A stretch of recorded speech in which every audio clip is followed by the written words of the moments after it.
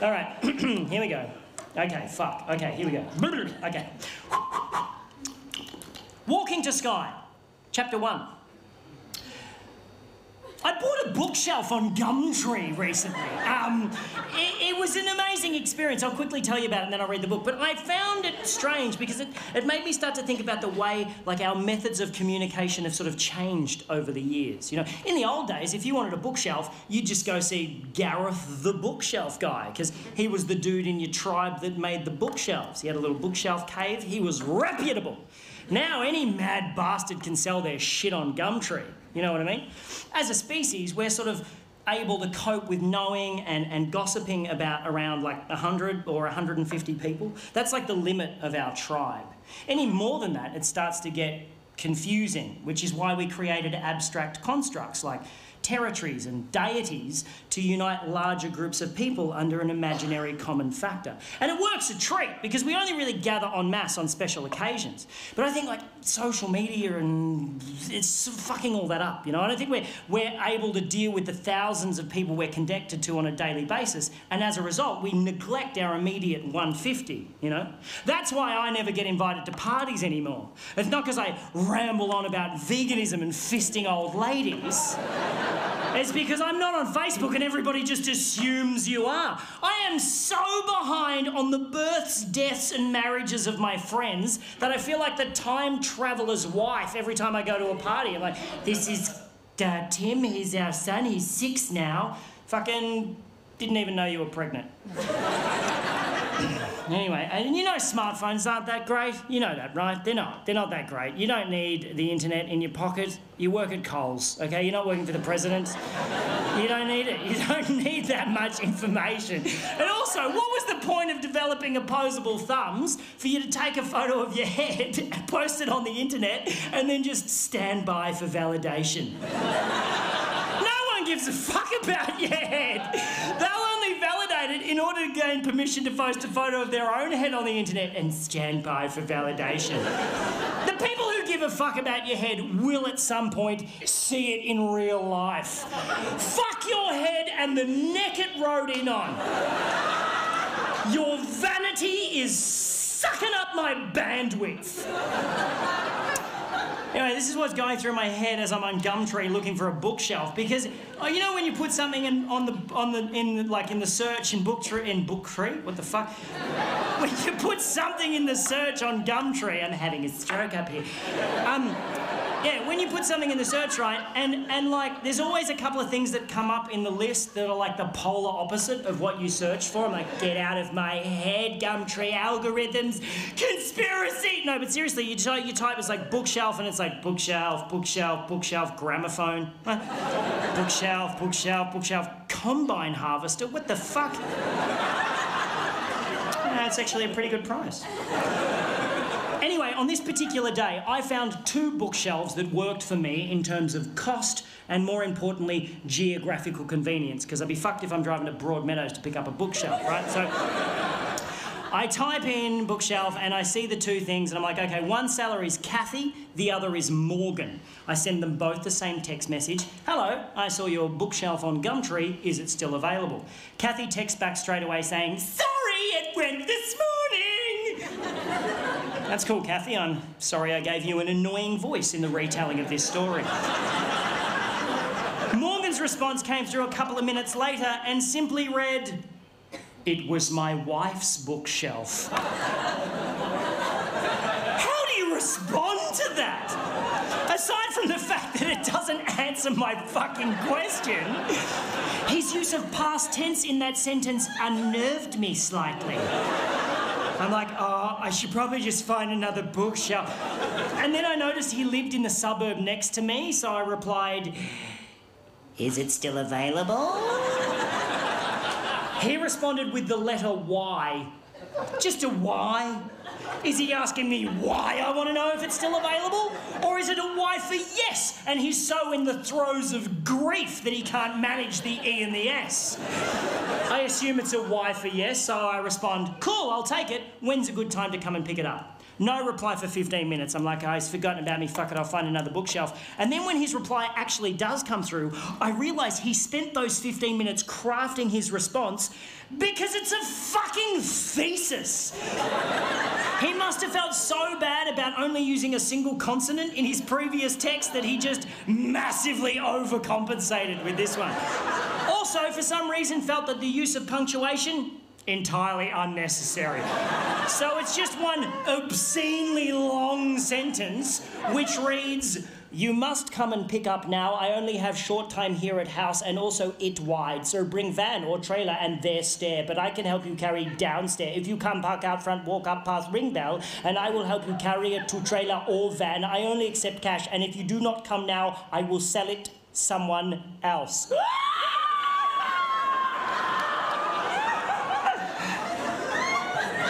Again, I'm thinking, oh, I should just find another bookshelf at this point. But now I am fascinated by Morgan and I simply must meet the man. So I drive over to his house. Oh, before I left, I sent him a message saying, Cool, I'll be there in 10 minutes. He replied, Okay, but spelt it O K A Y, which just fascinated me more that he'll use four letters to spell a two letter word, but only one letter to spell a three letter word. Is off the fucking chain!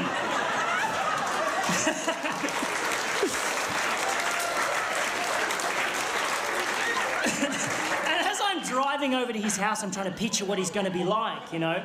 His pidgin English might suggest ethnicity of some sort, but I don't want to racially profile him.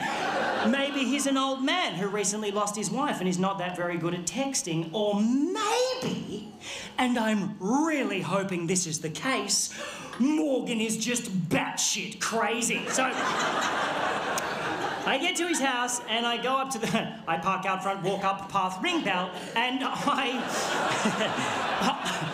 I brace myself for the door to be opened by like an old man in a smoking jacket, wearing fishnet stockings and suspenders, just puffing on an opium pipe, while a butler just creepily polishes a goldfish in the background.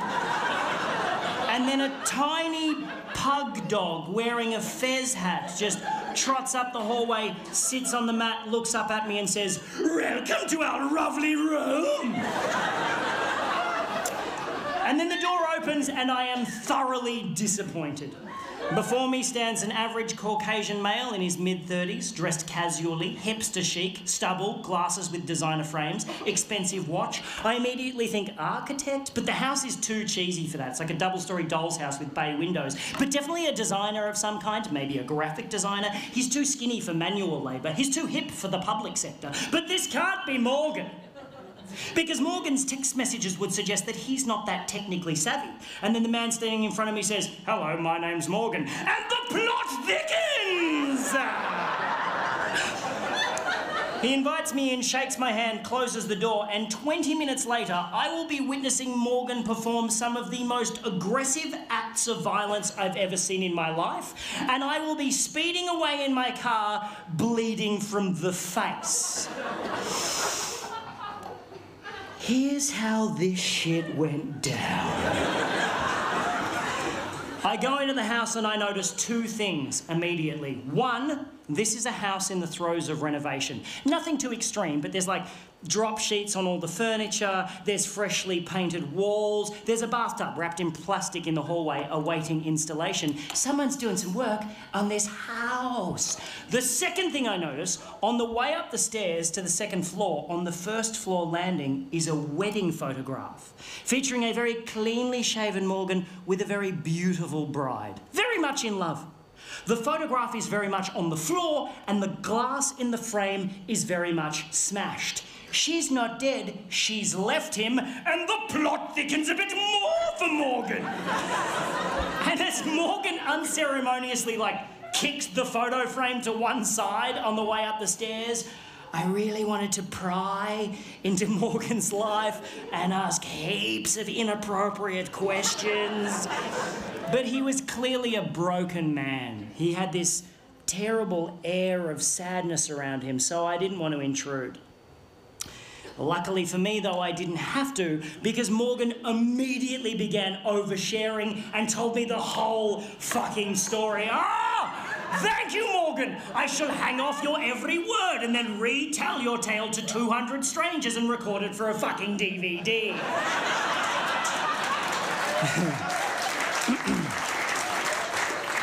he is a graphic designer, yes, and he's really good at it. He does like massive rebranding campaigns for large corporations. He gets flown all over the world doing this shit, right? About four years ago, a woman hired Morgan to rebrand her florist business, and he did such a great job, she married him. And he thought everything was just fine until about three months ago Morgan had to do a presentation in Sydney, right? But he was on his way home from overseas and he got stuck in Dubai due to a flight cancellation. So rather than cancel the meeting, Morgan suggested to these businessmen in Sydney that they do a Skype chat because he's so technologically savvy despite his fucking baffling text message style. So Morgan checks into a hotel, cracks open his laptop, and starts Skyping with this room full of businessmen in Sydney who are all watching Morgan on a massive screen on their boardroom wall, right? And everything's going great. Morgan is totally nailing it until about halfway through, he realizes that a file he wants to show these dudes is on the desktop of his home computer back in his home office in Melbourne. And he decides to live share the desktop of his home computer on the Skype chat. He knows how to do that. He can control his computer remotely from anywhere in the world. It's not particularly new technology, but Morgan makes it sound so impressive. So this room full of businessmen are all watching keenly like, oh, Margaret, bring in some biscuits. There's some newfangled shit going on in here. As Morgan clicks a few buttons and brings up the desktop of his home computer on the Skype chat. Now, what Morgan doesn't realise is that his wife has been using the photo booth app on that particular computer to take pictures of herself, to take naked pictures of herself, to take naked pictures of herself doing some pretty fucked up shit. it's embarrassing to say the least. Just as Margaret came back in with the biscuits, I've got you the. now, those of you who are familiar with the Photo Booth app will know that how it works is it accesses the built-in camera in your computer and with a click of a button takes a photo of you when you're standing in front of the screen. And if you know that, you'll also know that if you leave that application open, the camera also stays open, witnessing whatever may be happening in front of the computer in real time, such as your wife in your home office fucking your best mate.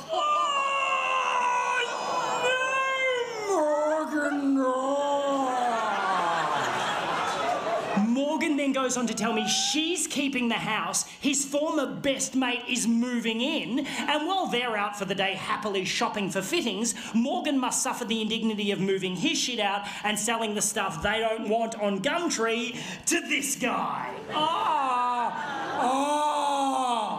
It's at this point of the story that Morgan starts crying. He breaks down, and I do not blame the man. It's fucking horrible, and I just want to give him a big hug and say, Everything's going to be all right, Morgan.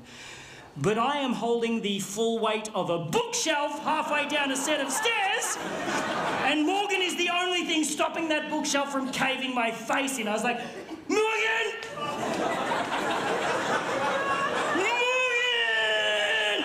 And Morgan managed to pull himself together for about eight seconds and then just went bah and let the bookshelf go. I fell backwards. It literally rolled over me and took out the light hanging above the staircase. I'm now lying on my back getting showered in broken glass as the bookshelf turned end over end and just went thunk right through a freshly painted wall at the bottom of the stairs. I'm like, ah, ah, ah.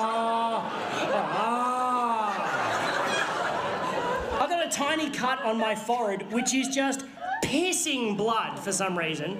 Apart from that, I'm fine. Morgan, however, he's not fine. Morgan is the opposite of fine.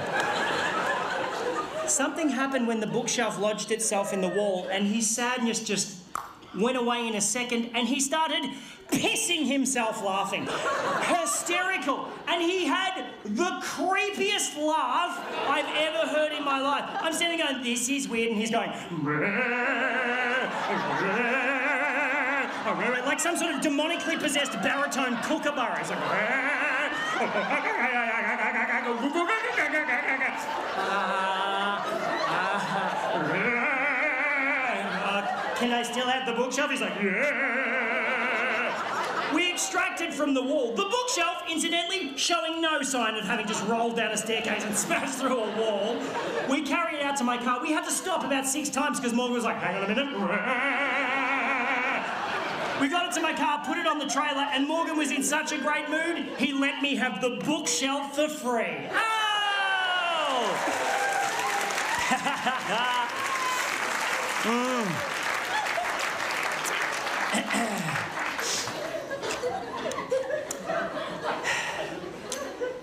and that's where the story should end. But there was something about the bookshelf going through the wall that flipped a fucking switch in Morgan's head, and he is now hungry for more destruction.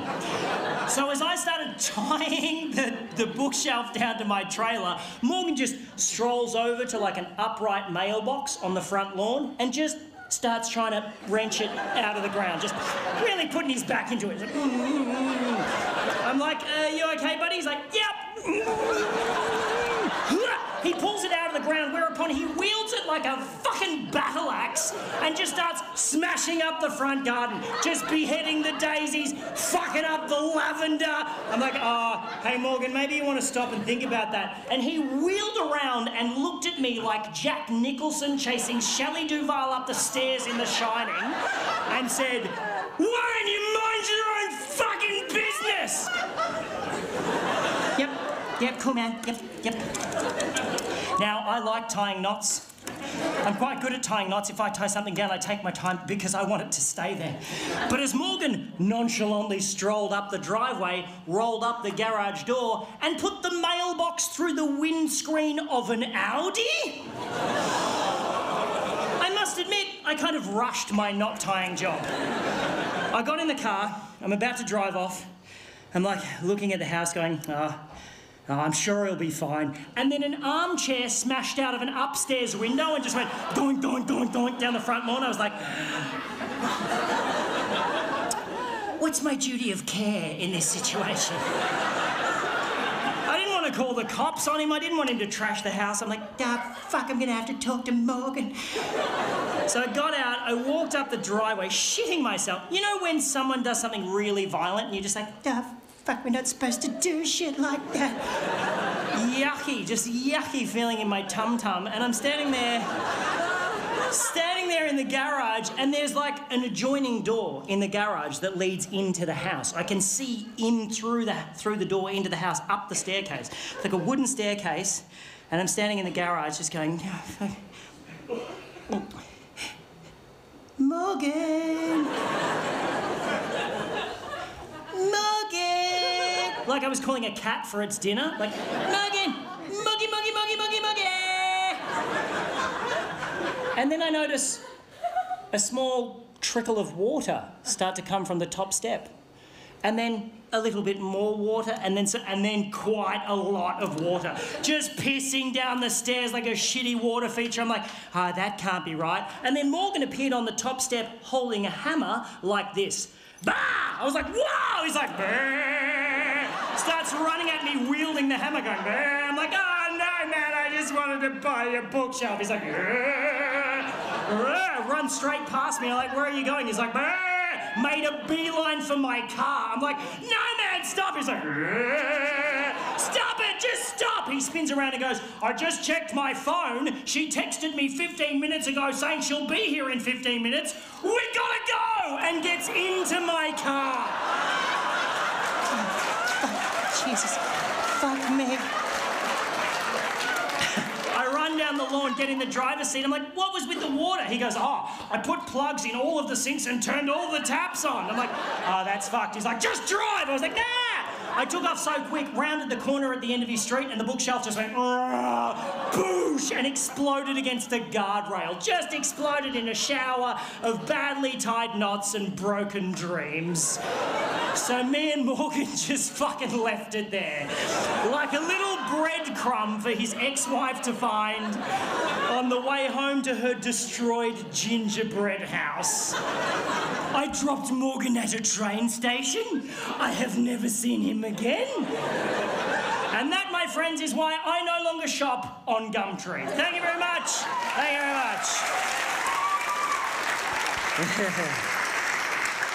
much.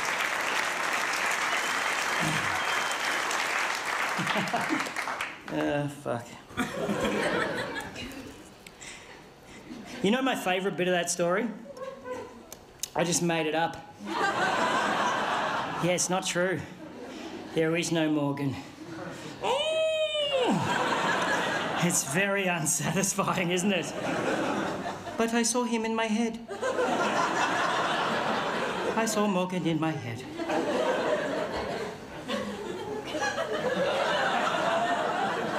Why is it we can feel so robbed when someone tells us a story we just heard isn't true and yet so satisfied at the end of a fictional novel? Huh? I don't know. I don't know. You know the other great thing about that story?